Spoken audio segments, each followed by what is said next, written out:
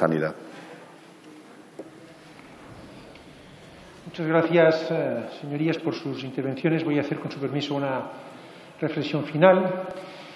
En Europa estamos en una segunda oleada, con transmisión comunitaria.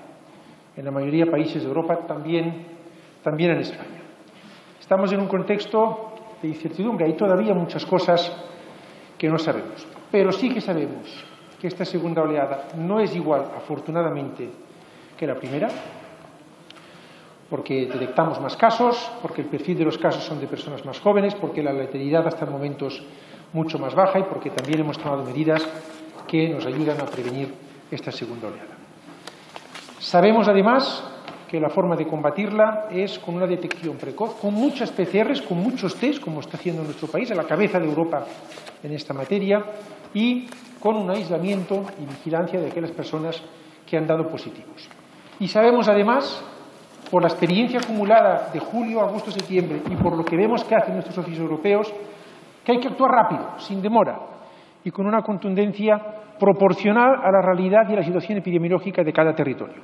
Si me lo permiten, actuar preventivamente incluso, anticipándonos cuando vemos que empiezan a crecer las incidencias acumuladas. Esto es lo que están haciendo las comunidades autónomas en nuestro país y nuestros socios europeos en Europa.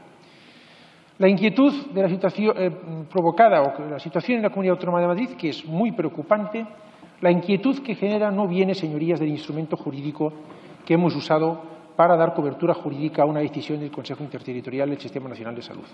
La inquietud proviene, por favor, centrémonos en esto, de la situación epidemiológica, de una incidencia acumulada muy alta, de un porcentaje de ocupación de camas hospitalarias alto, en torno al 20%, un poco por debajo estos últimos días, de una ocupación de UCIs habiéndolas aumentado, y esto es así, lo reconozco, cercana al 40%, con un nivel de positividad de las PCRs alrededor del 20%.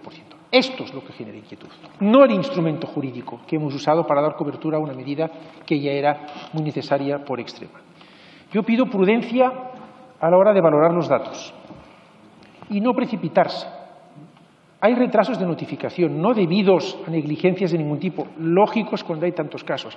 Hay retrasos de notificación que hay que valorar con prudencia, con calma, escuchando a quienes lo saben interpretar adecuadamente, que son los expertos y los técnicos. Provocados quizá también por el impulso a los test de antígenos que algunas comunidades autónomas están dando. Por tanto, prudencia y no precipitación, prudencia y no precipitación en valorar los datos. Y Pido que ya no se preocupen, evaluaremos la actuación del Gobierno y tendrán ocasión, ya la tienen, a menudo de decir si lo hemos hecho bien, mal o peor o mejorable. Ya evaluaremos, si les parece, con, calma, con, conjuntamente, qué hemos hecho bien, qué, qué, hay que mejorar, cómo hay que preparar mejor a nuestro país para futuras pandemias. Esto lo vamos a decir conjuntamente y lo haremos. Pero ahora yo les pido que nos centremos en combatir esta segunda ola. Y se lo pido de corazón y encarecidamente. Yo no espero ninguna recompensa de nada ni de nadie. Espero que nuestro país, con todos juntos, pueda vencer también, como hizo ya la primera, esta segunda hora. Y ahí puedo comprometer, y también creo que estoy en, la posición, puesto que lo comprometo, de pedirlo lealtad institucional, coordinación entre, entre administraciones y respeto al marco que tenemos en nuestro país, que es el de un Estado compuesto, que a mi juicio puedo estar equivocado, puede haber opiniones discrepantes, está funcionando razonablemente bien.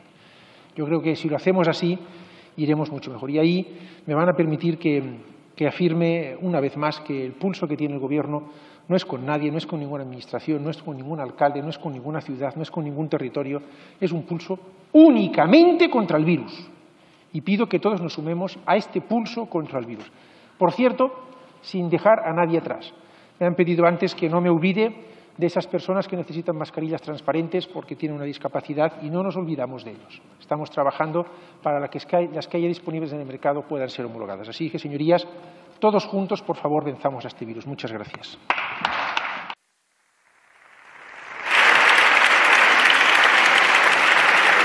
Muchas gracias, señor ministro.